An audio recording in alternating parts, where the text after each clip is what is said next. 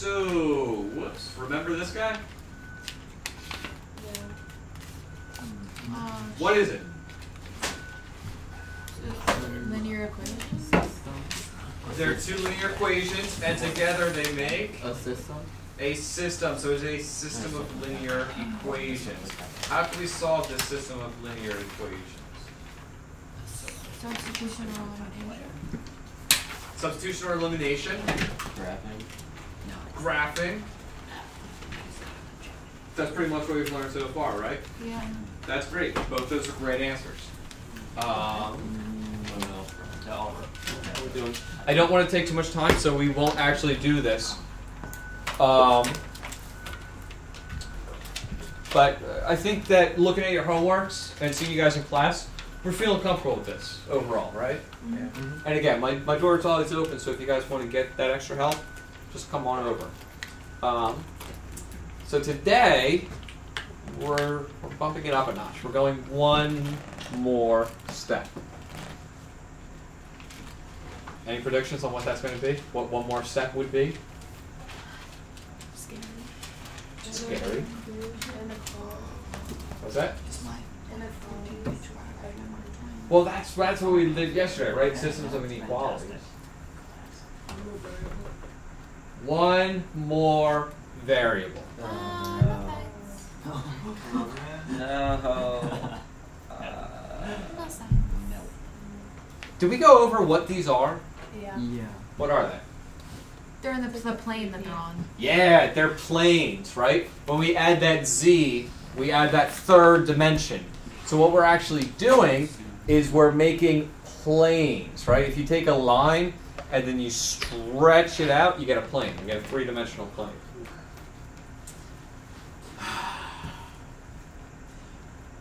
So we have to solve this.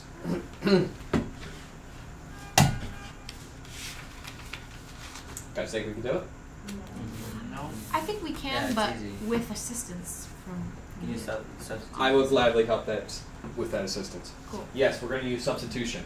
And here's the thing we're going to use substitution. What's the whole point of using substitution? Isolate variables. To isolate the variable and then do what? Solve for it. Right, plug it back in. So if I use substitution here, say I solve for y in the bottom equation, and I plugged it back into the first, what happened with the y's? Become X's. They become x's, so the y's would disappear. They go away. Mm-hmm. Then it becomes a one variable equation, something that we can solve. Here, I'm just going to have two variables. What's going to happen then? Do that twice. Yeah, I'm just really with that third variable. It's I don't want you guys to think it's anything just like totally new. It's the same process, except we're going to break it down so that we start with three variables. We eliminate one, so now we're down to two variables, and then we start with the process that we did before. We eliminate the two from two variables to one, and then we work our way back up. Yeah. You can only use substitution for this. No, no, no, no, no. We can use substitution elimination. We can use a lot of methods, um, but I want to use substitution first for us. All right. So substitute. So let's solve something. So what do you want to solve for? Z. Why? Which z? The second Z. The second z. What else can we solve for? First Y. The first y. How about any of the x's? Yeah. X's. Okay. I'm choosing because I'm driving. I'm going to solve for this first y. Solving for the, you guys all chose the variables with a coefficient of 1, and that's the easiest way, the best way to do it, right on. Um, my hesitancy about the blue is because you guys would get a fraction, and I know some of you guys love fractions so much they make you nervous and you can't operate. So we'll just avoid the fractions for right now. Um, but if we, with the green, we can solve for the y. So I get y is equal to negative 2x Plus Z plus 5.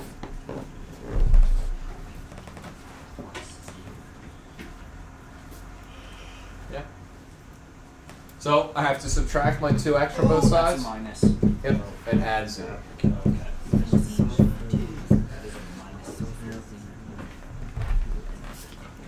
So what do I do with that? Plug it in. Plug it in where? The blue. What about the red? Or the red. It's like a, it's like a burgundy. So I can plug it in. So in here we get 3x minus 2 times negative 2x plus z plus 5 plus z equals 16. Make it even redder. Now I get 4x minus 3 times negative 2x plus z plus 5 minus 5z equals 3.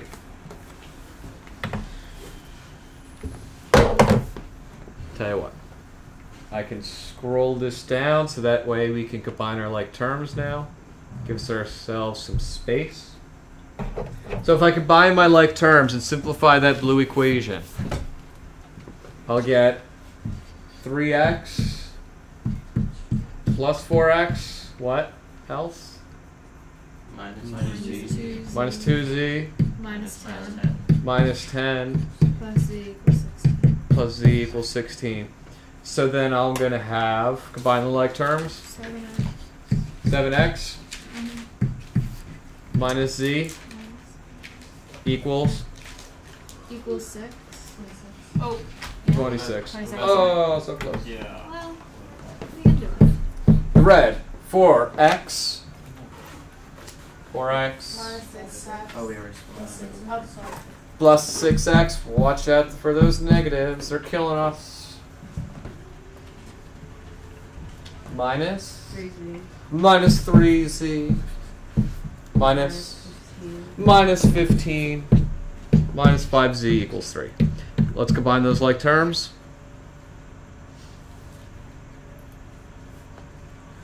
Two x minus Mm, ten x. Sorry. 10x Minus eight z. minus 8z equals Twenty three. oh, too many. Oh no, sorry, eighteen. equals 18. So we're going to write the blue right underneath that so we can kind of see. Oh, okay. Whoops. Right? So now the bottom of that page right now.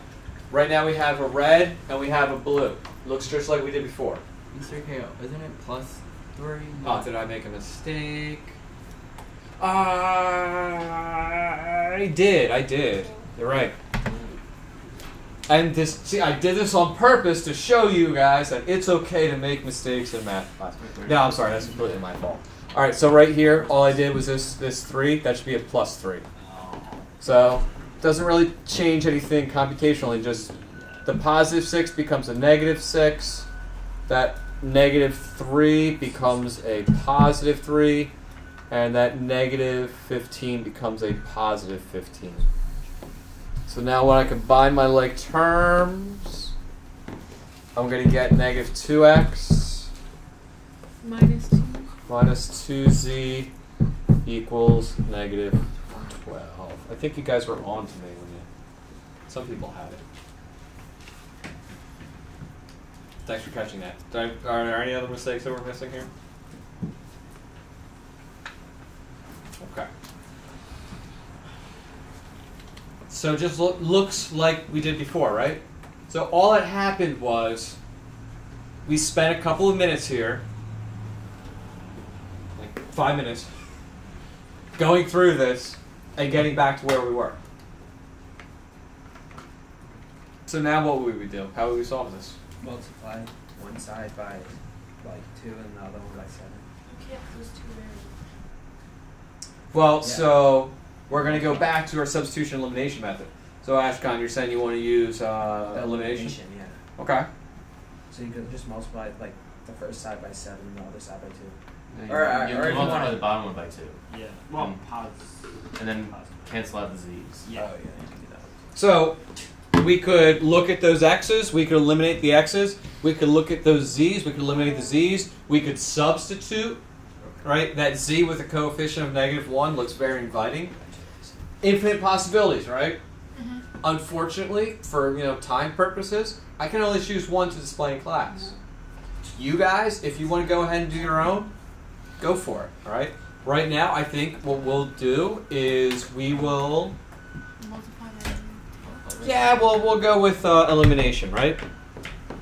And we'll go with elimination because it displays that once you get to this point, like you can do another method. You can stick with substitution all the way through. We can go to elimination method now. It's all good. So Negative why- two, right? Aren't using Negative the two. green equation? What's that? Neg- What's that? Aren't we using the green equation? We will. That was the one that we. Like, So, so the reason we're not using the green equation is because that's the one that we substitute into. right. So it's it's kind of like So in every problem, do we just not include the, or like, do we not? We'll be going back to it. We'll be using it later, but it's almost like um, I can't think of any good examples. But like we're breaking it up, and now it's a part of us. So these these equations here, they're not like they were before. They're different equations because now we basically broke up the green and put a little bit into the blue and a little bit into the red. So all these equations are, I mean, they're like the same. We haven't changed any values. But they're different. So then, how, in, in a problem, like in a different problem, how would we know which one to like not to use as the one that we substitute? Whichever whichever one you want, right? Okay. So we, we could have solved for the blue there. But And that then- the green's simpler. Yeah, we, we solved for that because then we would get fractions. Now you guys, you know, fractions. It, but if we solve for the blue, the like the blue z, we plug it into the green and to the burgundy, the red, and then we wouldn't include the blue anymore. Okay. Right? But you'll see, we'll, we'll get there and we'll actually go back and, and plug these back in. It's kind of like a ladder system, so like I'm painting a wall on top of a ladder. We have to go climb all the way down, pick up the paint, and then climb all the way back up. So we're going to go down, we're going to solve for one of these variables, and plug into all the equations above. Okay. So I'm going to multiply this by 2 uh, negative two. Ah, yeah, because I like addition more than I like subtraction. So we're going to multiply that by negative 2. So I get negative 14x plus 2z equals negative 52. And I still get negative 2x minus 2z equals negative 12. Like we said, I'm going to add these. We're getting close. Negative 2x plus is that negative 14x is? Negative Negative sixteen. Negative 16x. The z's cancel out. Equals. Negative sixteen. So what's x equal? An integer! Oh, that's so great. Oh. So all I have to do is go back to one of the original equations and plug it back in. Oh, what's the problem with that? We still have two more to find. Still two variables. So where can I plug in this x equals 4? In uh, either the negative 2x minus 2z equals negative 12 or the one below it. Yeah, Because- plug it back into one of the equations that we got with the two variables. So it'll be one variable. Yeah. So Theo, which one do you like? I'm liking the one with the smaller numbers Yeah. and negative 2x minus 2z. So you like the red? Yeah. Alright, let's go with the red. So we get negative 2x, that's going to be negative 8, minus 2z equals negative 12. Negative 2z equals. equals. Negative four. Negative 4. Z equals. Two. 2. Hey, two variables down. Now I can plug one of these back into the original, can't I? Mm-hmm. Both. Yeah, you, Let's use the green Plug one. it into the you would plug plug both of them. one. Plug both of them into the green Good. equation. Po- plug, ah, plug both of them back through the green. So we get 2 times x, so 2 times 4, plus y, minus z, which is 2, put that in parentheses, equals 5. So I get 8 minus 2, which is, It's negative 8. I, It's No, negative it's 2x. No. No. Positive that two was x. positive. No, I'm, this- looking, I'm looking to the one to the right. Uh, This is me subtracting. Oh, you were looking at that one? N- No, The the green one one. to the right of the one you guys were doing. No. The the What? right That's green one. Oh, oh, oh, oh, oh! I see what you're doing. I see what you're doing. Sorry, sorry. So yes, okay. So we're solving for y. So you just you're plugging it back to the one we already solved That's for y. Yeah. That's okay. I'm plugging it back into this one. All right. So e- either way still works. All right. Because here we're gonna get eight on the on the left side minus two is six plus y equals five. Either way, you're gonna get that y equals Negative one. negative one. Um, Hold on. One quick thing before I, I address questions. We just have to write the answer. How do you think we're going to write the answer? Ordered pair. Yes, except it's not quite a pair. It's a triplet. Something like that, right? So it goes what, comma, what, comma, what? Four. X, Y, Z. Good. 4, comma, negative 1, comma, 2. X, Y, and Z. I was just confused what you plugged in to get a Z. I got it. Like when you're plugging in the red, the red thing. In the red. The four, like when you plugged in four as X. Like Okay, so are you good with how we got x equals 4? Yeah. So all we did was we took that x equals 4 yeah. and we went to one step before where we had those two equations with two variables. Mhm. And we took that x equals 4 and plugged it into this red equation. Because now, if I plug in the x equals 4, only the z is left. Oh. okay. Then I found the z. And then once I had two variables, I mm-hmm. went back up to the beginning. So again, it's like that ladder, right? Mm-hmm. I'm painting a wall. When I give these three equations, I'm painting a wall. So I have to climb down a couple of steps, right? Or three steps to break it down to one variable, and then I have to climb back up. Three, you know, two, one. Any other questions on this? How do we feel about this? Excited. Yeah, it sounds like a Are you good quite work. Take a long, long time. Uh, yes, I will. I'm just not quite yet, though. Right? And we got, we got time. We got time, guys. I just don't know how it's gonna go when I do it myself. So I'm not gonna lie. The first few times you guys do this, it's gonna be confusing. It might take a while, um, but stick with it and keep going. I don't care if you get confused after the second step, the third step. I just I want you guys to try. Really, all you did, all we did that was different was we had that extra variable because once we got where is it to here once we substituted that third variable in like here how many variables do we see? Two, right? X's and z's. And then it's just a matter of combining them. So after like all the way up here after solving for one boom suddenly there's two variables. That's just like this stuff. It's just like we looked at before two variables.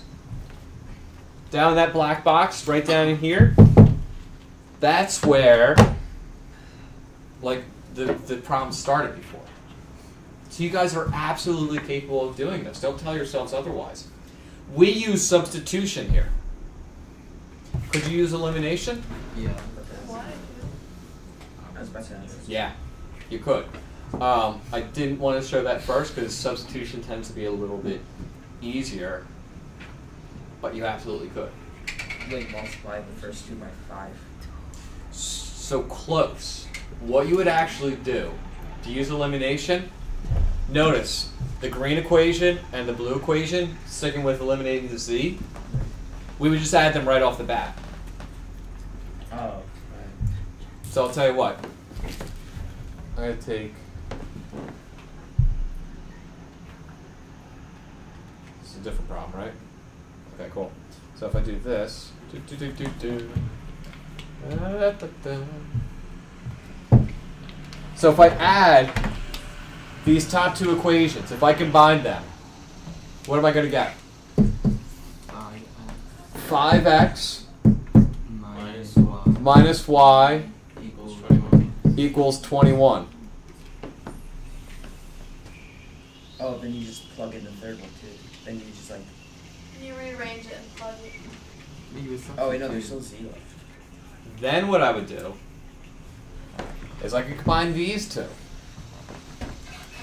I multiply this by 5, so I get 15 minus 10y plus 5z equals 80. So then I get 15 plus 4x is Nineteen. 19x. Thirteen. Y. Negative 10, Uh, Negative Negative seven. negative 7y equals Eighty-three. 83. And then you, like, And then we can, again, then we're back to where we started, right? so much easier. We can use substitution elimination. and then you plug it. You. Then Yeah, I think it was single substitution. no, you just. you can use you can use substitution all the way through. You can use elimination all the way through. You can balance them out. Um, in the book, there are some other examples. This video is going to be up on the YouTube channel. There are videos from last year up there. I'm going to have a step-by-step step instruction of a couple of examples. These notes will be up there. And you guys have the added benefit of it being the weekend to look at this stuff. Um, but even still, when we get back uh, to class, we're going to be looking at all this stuff. So we will have plenty of time.